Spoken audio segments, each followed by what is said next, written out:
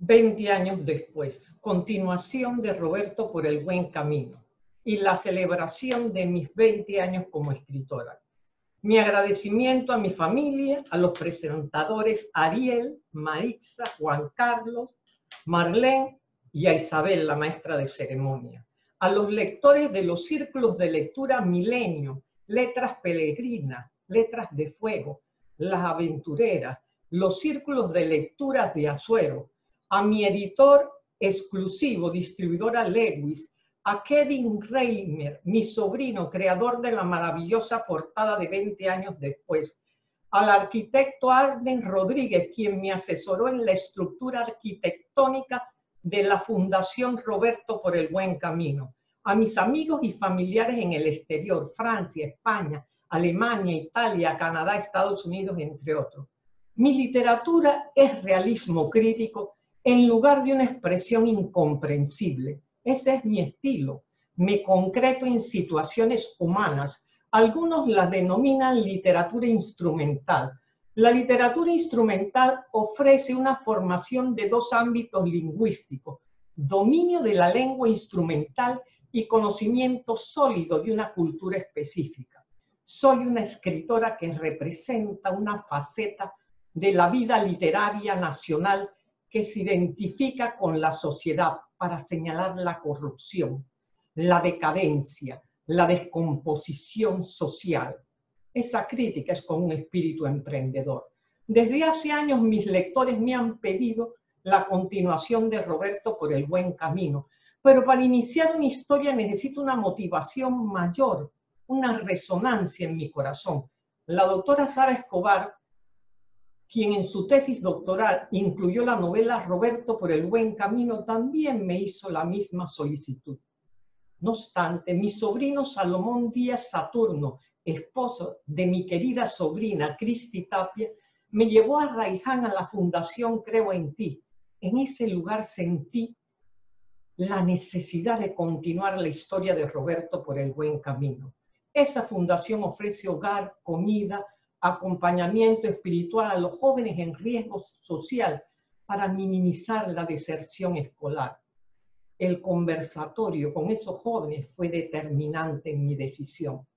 Una de las madres me comentó que cuando sus hijos deciden tomar el buen camino, el maligno se interpone y una serie de desgracias desmotivan sus buenos propósitos.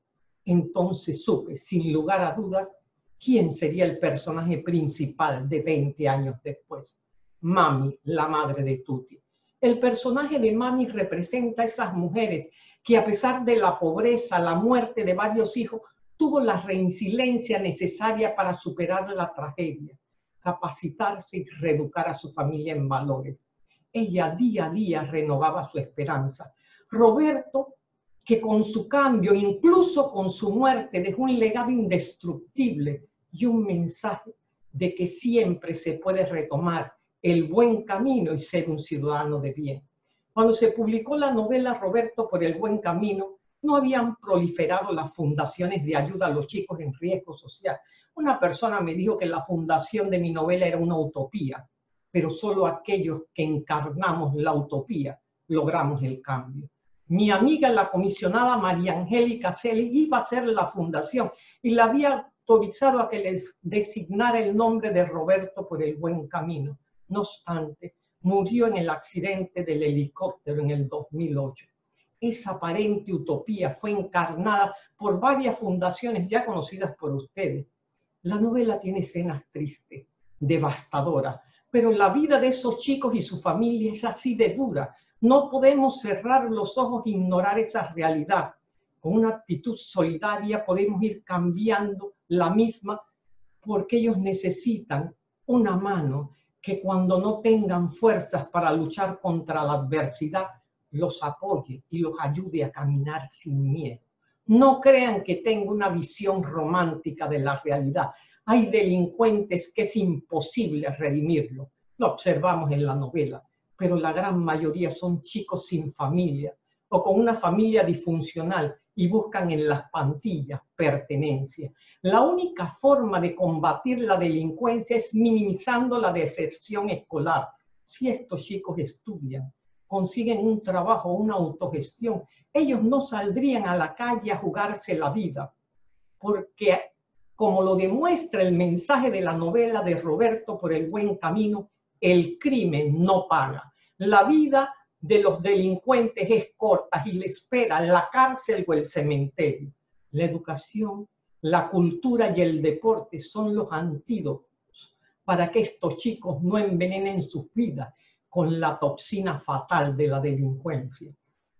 Esta novela, a pesar de las adversidades, tiene un final feliz y no lo consideren una condescendencia hacia los lectores o un recurso comercial. Soy de las personas que creen la felicidad, en la victoria. Esta novela está dedicada a todos los lectores de Roberto por el buen camino desde el 2004 hasta la fecha. Ustedes lograron que esta novela llegara a ser la más leída en Panamá. Primero bestseller, luego longseller. Mi eterno agradecimiento a cada uno de ustedes porque son mi soporte, mi ánimo de día a día para escribir y promover la lectura en el ámbito global a través de Siembra de Lectores. También dediqué esta novela a la doctora en filosofía Sara Ortiz y a mi sobrino Salomón Díaz Saturno. Muchas gracias.